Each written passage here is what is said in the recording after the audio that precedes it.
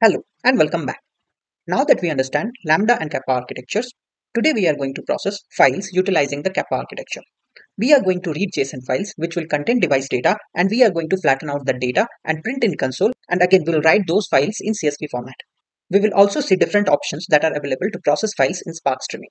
So before we can start consuming these files, let's understand how this JSON files would look like. On my screen is an example device JSON file that we are going to consume. It contains certain field informations like event ID, event offset, publisher, customer ID, and again, we have data for devices in form of list. And this list contains the data for each of the device. As you can see, this is one block of device data, and this is second block of device data. And each block of device data contains device ID, temperature, measure, is it in Celsius or Fahrenheit, and the status of that device. Again, we also have event time for each of the payload that we consume as files we are going to flatten out data in form of a tabular structure. So once we flatten out this data, the data will be displayed in a linear tabular format. You can have the keys of that JSON file in form of columns. So we will have event ID, event offset, event publication, and all other columns, including the columns for each of the device data, which is device ID, temperature, measure, status, and event time. And once we flatten out this data, first we are going to display this in console. And again, we are going to write this data in CSV format using append out mode. So now that you understand what we are going to do today, let's begin. Now, I am in my Jupyter Lab environment. As usual, we'll start by generating our Spark session. Today, I have added one more config in my Spark session, which says stop gracefully on shutdown. It implies whenever we shut down our streaming application, it will make sure that all of the required data which is in line will be processed and then the streaming pipeline would be shut down gracefully. So let's generate our Spark session first. Awesome, my Spark session is generated. Now, for today's session, I'll place all the input files in the input folder under data and we will have device files under this device file folder. I have few samples ready. I'll just copy one of the sample into that folder. So I'll copy this file into the input device file folder. Now let's go ahead and write our batch code first in order to flatten out the JSON data. Once that is done, we will convert that code in streaming format. So let's start that by reading the data with the help of a data frame which is streaming df.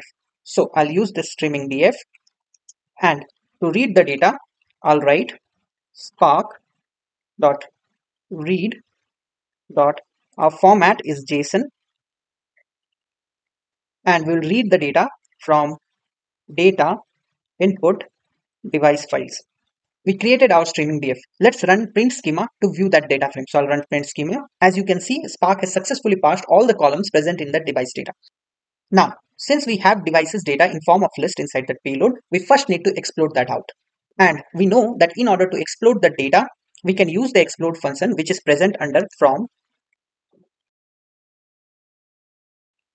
Great. Let's write our explode data frame now.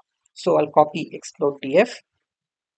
I'll write it as we'll read the streaming df and we will explode the data with with column now we need to explode this devices array which is present under data. So if we go back to our payload, you can see this is the data which is a struct field and under this we have devices which is an array field. So we need to explode this devices array. So let's create a column called data underscore devices. And to explode this we'll write explode and we'll put data dot devices. Let's run this Nice. Let's view the schema of the exploded data frame. So I'll run this. Awesome. You can see the data devices is being exploded. Let's go ahead and view the data in order to understand it more. So I'll run this show command as well. So let me just zoom out for a bit. Now you can see since our payload contained two JSON data, this has been exploded in two rows and we have the devices data under data devices. So let's go ahead and drop this data column, which is no longer required because we have exploded the data and we will expand this devices data into multiple columns to flatten it out. Awesome. Now that we have exploded our data frame, let's go ahead and flatten our devices data, which is present under the data devices column. Now, if you see the data devices column is a struct field. In order to get the data columns, which is present in a struct field, we use dot notation. So let's go ahead and write our flattened data frame. So I'll name the data frame as flattened df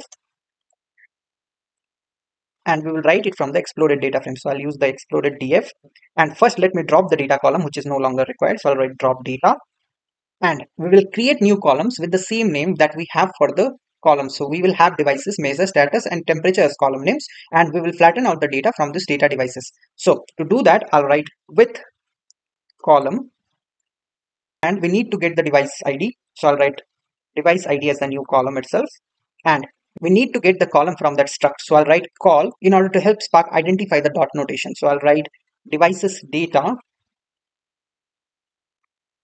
dot device ID. So we will create a new column called device ID, which will have the data from data devices dot device ID. Let's go ahead and create the similar remaining three columns. So I'll quickly write the code for them.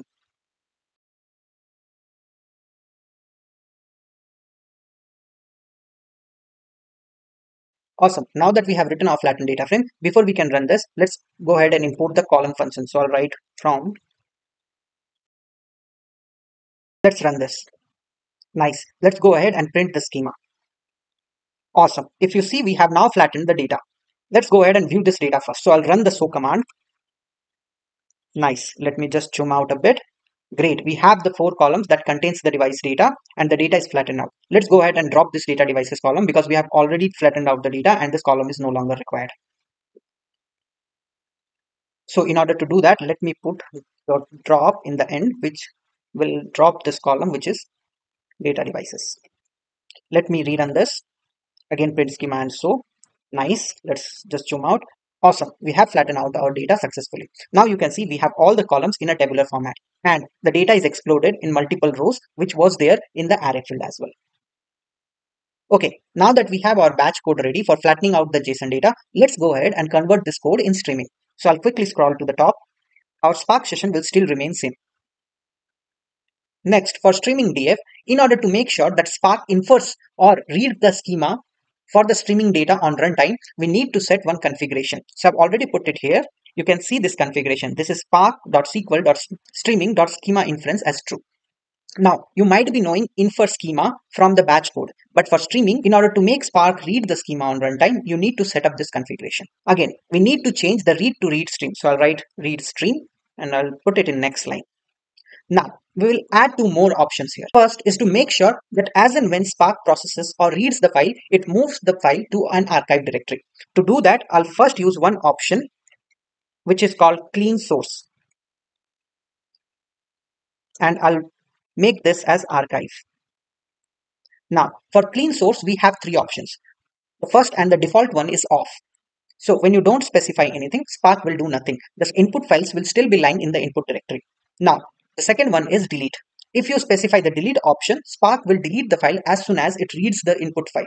Third one is archive. Now, in a production scenario, you don't want to delete the file. Rather, you want to archive the file. So, we have specified the clean source as archive.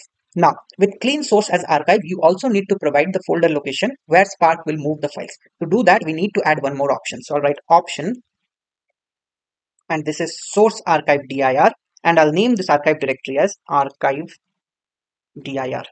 Nice. We'll add one more option here. So that option would be max file per trigger. Now, why do we need this option?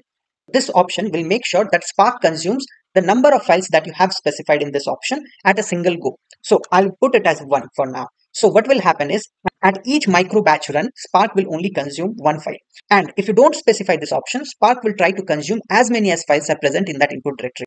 Now, to make things work perfectly, we need to provide this option in production scenarios. Now, our code for streaming DF is ready. Let's run this. Great. We can still see the print schema. So I'll run this. Awesome. We have the same schema here. Let's go ahead and run the explode data frame command. This will still remain same. So I'll run this. Now I'll suppress the show command here because that is not required. And we will still run the print schema. Awesome. We have the same schema. Let's go ahead and run the flatten df command. So I'll run this.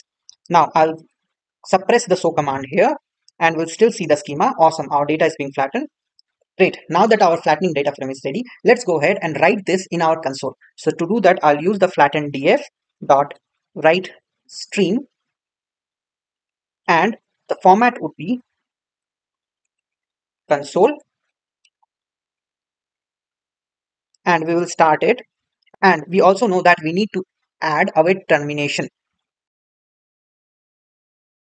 So before I run this, let me go ahead and clean up the console. So I will come back to the logs in Docker and I'll clean up the console. Awesome. Now there's one more thing that we need to specify is the output mode. So I'll write output mode. And this time we will use append mode. Let's go ahead and run this. Awesome. As soon as we run this, we see our first batch being processed here. Let's go ahead and put one more file here. So I'll go back to the samples directory that I have. And I'll copy the device to JSON from here. I'll go back to the input directory and I'll place the file in the device files. Nice. I'll refresh this. As soon as I refresh it, you see the first device file being removed here because that file has been archived. Now if you see batch 1 has been processed here. Great. Now that we can see our data in console properly, let's stop this and we will change our sink to file. So I'll stop this now. So let me clear out. Now I'll change our sink to files. So we'll write the CSV files in append output mode. So to do that, I'll use the same code, but I'll change the format as CSV. And the output mode still will be append now we need to specify one option here, which is path, where we will write the data. So I'll use option path and I'll write the path as data output and we will write the device data dot csv which is our format now we will add one more option here which is the checkpoint directory so i'll write option checkpoint location and i'll name the checkpoint directory as checkpoint dir. So this will create a directory called checkpoint dir which will store the metadata information such as offset and the files that are being processed so that even if we put the same file again spark will not process that file. So we will see that. Before that let me go back to the parent folder and show you the archive directory. So when we ran the code for the console an archive directory was created which contains the files that were archived. So if i go into this folder you can see both the device files present in this folder. So before we run this, let me go ahead and clean out this archive directory. Nice, our archive directory is now removed. Let's go back and run this code now. So as soon as I run this, if I re refresh here, you can see a checkpoint directory created. Let me go ahead in the output folder, data devices. You can see the first CSV file present. If I open this file, you can see the devices data. Now, this file has been processed by the input file device 03, which was already present. Now, let me put one more file here. So I'll go to the samples. I'll copy the device 02 from here. Go back to the input folder and I'll place the file here. Let me refresh this. The third file is gone now. If we go to the output directory, great. Now you see one more file here. If I open this, you can see the device data processed by this second file here. Great. Now that we know our code is working fine, let's go ahead and see what is there in the checkpoint location. So I'll go back to the main folder. We can see the archive directory created and again the checkpoint directory. So I'll open the checkpoint directory and you can see multiple folders here. We will learn about checkpoint in our next session. But before that, let me show you one thing. So what happens if we try to process the same files again? Let me go ahead and copy the 03 file which was processed with on the very first time. So I'll go back and I'll try to put the same file in the input directory again. So I'll place the file here, refresh. You can see the device 02 file is still not moving because the device 03 file is not being processed as it is already registered in the checkpoint directory.